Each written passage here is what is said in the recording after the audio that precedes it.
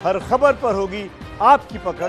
Download कीजिए ABP live app और इस बीच आपको बता दें 370 भारतीय दिल्ली पहुँच चुके हैं चीन के वुहान शहर से, एयर इंडिया के विमान के ज़रिए, और इन सभी को दिल्ली लेकर आया जा चुका है। इस वक्त की बड़ी खबर हम आपको दे रहे हैं, चीन से 370 भारतीय एयर इंडिया के विमान से पहुँच चुके हैं भारत में। और अब उनको अलग अलग फैसिलिटीज़ में लेकर जाया जाएगा, जहाँ उनको 14 दिन के लिए मॉनिटरिंग में रखा जाएगा, ताकि ये जाना जा सके कि कहीं कोई भी व्यक्ति उनमें से कोरोना वायरस से संक्रमित तो नहीं है। एयर इंडिया के विमान से 324 लोग पहुँचे हैं भारत। चीन से 370 भारतीय दिल्ली आ गए हैं। और एयर इंडिया का पहला विमान उनको लेकर रवाना हुआ था, और वो विमान अब दिल्ली पहुँच चुका है। और एहतियातन भारत की तरफ़ से एक कदम उठाया गया कि जो लोग वुहान शहर में मौजूद हैं खास करके भारतीय, उनको वहाँ से जल्द से जल्द निकाला जा सके ताकि वो कोरोना वायरस की चपेट में ना आए। और एहतियात के तौर पर उनको अलग अलग फैसिलिटीज़ में रखा जाएगा। मानेसर और छावला में दो फैसिलिटीज़ बनाई गई हैं। एक फैसिलिटी में पुरुष होंगे, एक में महिलाएँ होंगी और पूरी जाँच की जाएगी चौदह दिन के मॉनिटरिंग के अंदर कि कहीं उन पर कोरोना वायरस का कोई असर तो नहीं है, वो संक्रमित तो नहीं है। ये तस्वीरें आप उस विमान के अंदर की देख रहे हैं, जिस विमान में बैठकर वो सभी यात्री चीन से भारत पहुँचे हैं। एयर इंडिया का ये विमान है। डॉक्टरों का एक विशेष दल भी इस विमान में गया था। और तमाम यात्रियों को लेकर अब ये विमान दिल्ली पहुँच चुका है।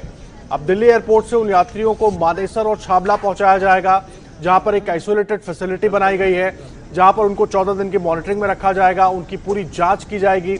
अगर कोई भी व्यक्ति उनमें से संक्रमित होता है तो उसको पूरी इलाज, पूरा प्रॉपर इलाज मुहैया करवाया जाएगा और एहतियातन उनको आइसोलेशन में रखा जाएगा ताकि ये वायरस आगे ना बढ़ पाए।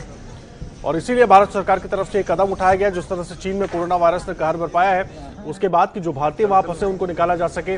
तस्वीरें आप विमान के अंदर की देख रहे हैं, फ़्लाइट के अंदर की देख रहे हैं, जिसमें तमाम वो भारतीय मौजूद हैं, जो वुहान शहर से भारत लाए जा रहे थे। और अब ये भारत पहुँच चुके हैं, दिल्ली पहुँच चुके हैं। और अब इनको मेडिकल फैसिलिटीज़ जो दो बनाई गई हैं, छाबला और मानेसर में, वहाँ पर लेकर जाया जाएगा। ताकि इनको सुरक्षित इलाज मुहैया कराया जा सके। आइसोलेशन में रखा जा सके कि अगर कोई भी व्यक्ति इनमें से संक्रमित है तो संक्रमण आगे ना बढ़े। और 14 दिन की मॉनिटरिंग में रखा जाएगा। जिन लोगों में कोई संक्रमण नहीं होगा, उसके बाद उन्हें घर जाने की इजाज़त भी दे दी जाएगी। तो चीन के वायरस से बचाने के लिए मुहिम भारत सरकार की तरफ़ से तेज कर दी गई है। दो तस्वीरें आपकी टेलीविज़न स्क्रीन पर है इस वक्त। एक है उस फ़्लाइट की, जिसमें वो तमाम यात्री जो चीन के वुहान शहर से लाए जा रहे हैं, उनकी तस्वीरें हैं, जो अब भारत पहुँच चुके हैं।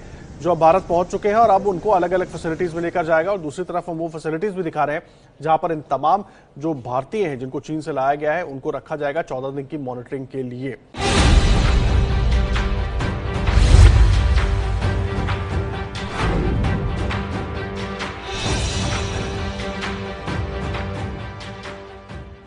एबीपी न्यूज़ आपको रखे आगे।